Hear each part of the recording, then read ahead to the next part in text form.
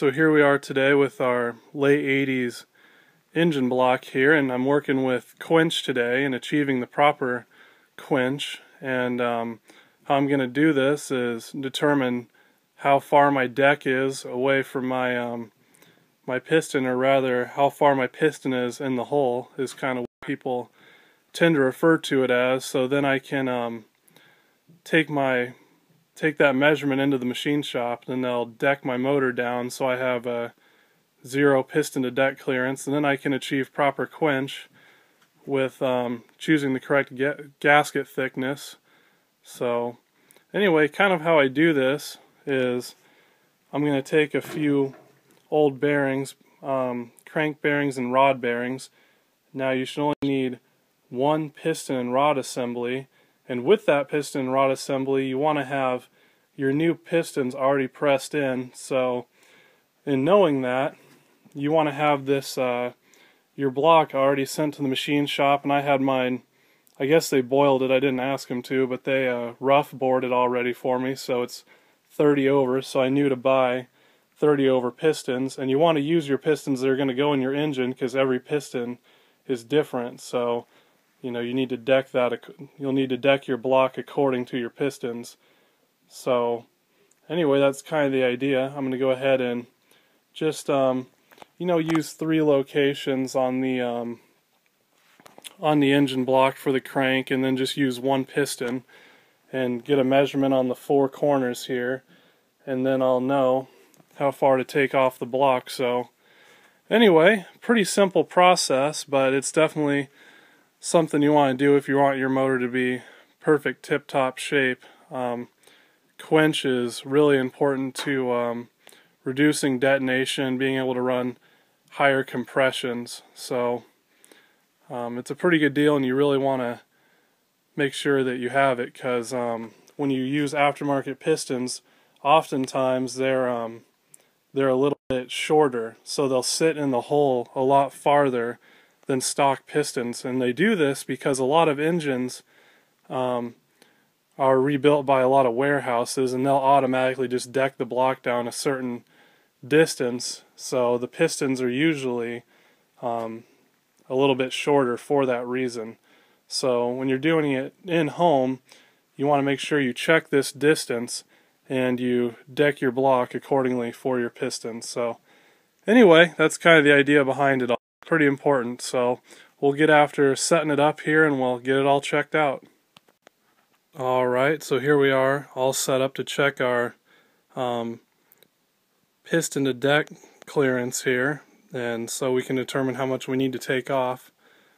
Um, I want to make mention of a few things here. You want to make sure that all the burrs around your cylinder wall are, um, or your lip here, you want to deburr this before you try and put your piston in because when they come from the machine shop, they haven't done this process yet because they're still going to hone it and then they're going to deck it and then they'll do this um, the process where they get the finish on that lip. So you want to be careful as you can really scrape up your piston. So I went around here with um, just a little round tubular file, a really fine grit file, and took the burr off of that so I didn't damage my piston.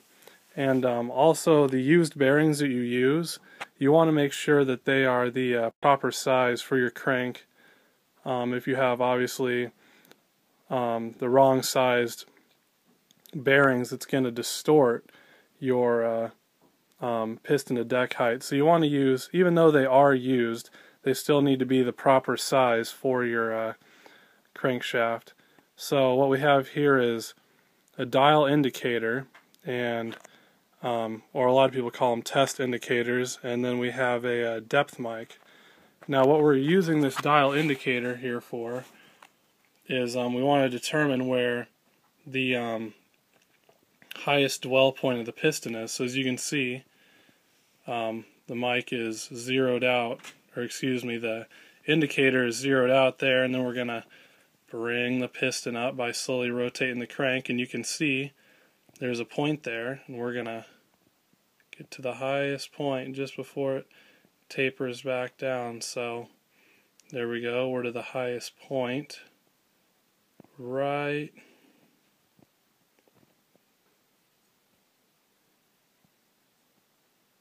there. So that's perfect. Now what we want to do is have a flat surface for our depth mic.